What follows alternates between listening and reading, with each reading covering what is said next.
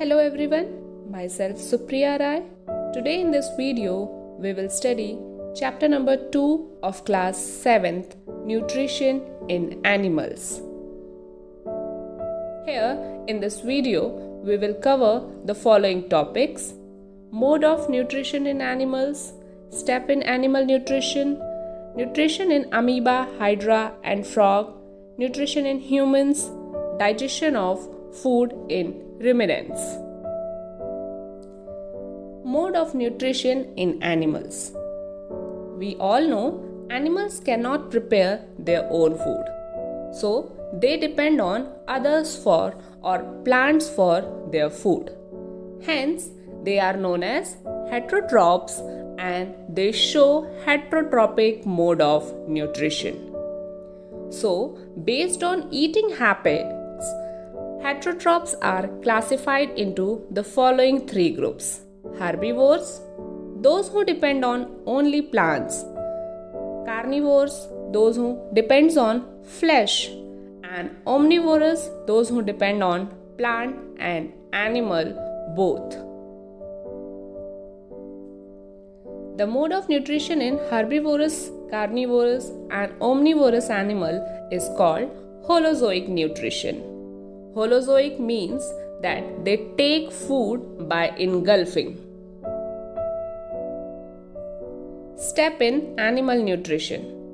Animal take food in the form of a complex organic compound like carbohydrates, protein, fats, etc. Therefore, the process of animal nutrition involve the following five steps: ingestion, digestion, absorption, assimilation, and egestion. Nutrition in amoeba, hydra, and frog. First, we see amoeba. Amoeba is a tiny single celled organism. It engulfs the tiny particles of food by throwing its false feet, which is known as pseudopodia, around the food particles or animal. Hydra Hydra is a simple multicellular animal. It has a number of tentacles around it, mouth, which are used for ingestion of food. You can see here in this picture. Frog Frog uses its long sticky tongue to catch the insect. You can see in this picture. Nutrition in human. So for study this topic we have to study human digestive system. Human digestive system consists of an alimentary canal which is also known as gut which start with mouth and end at anus. It, and they are also associated with an associated glands. The various organ in alimentary canal first mouth, esophagus, stomach, small intestine, large intestine, rectum and anus. And the associated glands are salivary glands, liver and pancreas. In this picture, you can see all the parts. First, we will start the human digestive system with mouth. Food is taken into the body through the mouth. The digestion of food starts in our mouth. The mouth contains teeth, tongue, and salivary glands. Teeth cut the food into small pieces, chew and grind it. Different types of teeth are incisor, canine, premolar, and molar. Incisors are 8 in number, 4 in each jaw. Canines are 4 in number, means 2 in each jaw.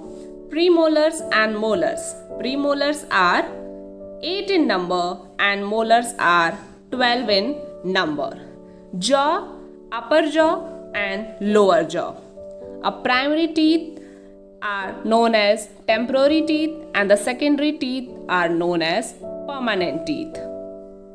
You can see in this picture the green colors are the incisors, the red one are the canines, yellow is premolar and blue is molar. The tongue help in mixing saliva with food. Tongue has the taste bud which help us to identify sweet, salt and bitter and sour tastes. There are three pairs of salivary glands present in our mouth which releases the saliva. Saliva contains a salivary amylase which convert the starch into maltose. Now the food has been transferred into the next part that is esophagus also known as food pipe. The esophagus is a tube which connects the mouth to our stomach. It carries the slightly digested food from mouth to stomach. The food coming from mouth moves down through a different kind of movement that is known as peristalsis movement. You can see here in this picture also. In the stomach. Now, after the esophagus, the food has reached to the stomach. Stomach is J-shaped, thick-walled muscular bag. The inner lining of the stomach secretes the following three juices hydrochloric acid, mucus, and digestive juices. Food stay in our stomach around 2 to 4 hours and it is half digested like a thin paste called as chyme. Mucus. Function of mucus is that it protects the inner lining of the stomach from the action of enzymes and acids.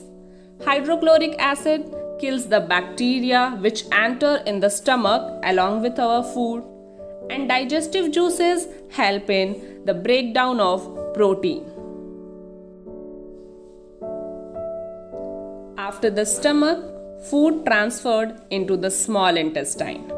Small intestine in human being is the site of complete digestion of food. It receives secretion of digestive juices from liver, which is the largest gland in human body, pancreas and its own wall. Liver secretes a juice or a liquid known as bile juice which is stored in gallbladder which is present inside the liver. Pancreas secretes pancreatic juice which converts the fats into fatty acids. The small intestine is especially adapted for absorbing the digested food this only happens due to the presence of a million of tiny finger-like outgrowth inside the inner lining of the small intestine is known as villi. The villi gives the inner wall a large surface area for the rapid absorption of the digested food. Villi also connected with the capillaries which transfer the digested food into the blood. After small intestine, the food transferred into large intestine. The food that remain undigested and unabsorbed by the small intestine transferred into large intestine. The large intestine absorbs water and salt from the undigested food material. Now, in rectum and anus, due to the removal of water in large intestine, the undigested food becomes semi solid. Then, undigested food is now stored in the last part of the large intestine known as rectum. Some for sometimes. Now, that undigested food stays there in rectum and it comes and pass out from our body through an organ known as anus in the form of feces. Now the last topic digestion of food in ruminants. The grass eating animal like cow, buffalo, goat, etc. are called as ruminants because a part of their stomach is rumen is specialized to store the half chew food. The half chew food or partially digested food in a rumen of cow is known as cud. So, the process by which the cud is brought back in the stomach to the mouth of animal and chewed again is called as rumination. Here you can see in this picture the stomach of ruminant has four chambers rumen, reticulum, omasum and abomasum. Here in this picture you can see all the parts. Now the rumen is the largest chamber for storage of food in the ruminants. After watching the complete session, you have to answer the following question to check whether you have understood the chapter or not. First question Which digestive enzyme is present in saliva? Name the digestive juices secreted by pancreas. And third, what is cud? Thank you for watching. Don't forget to like, share, and subscribe.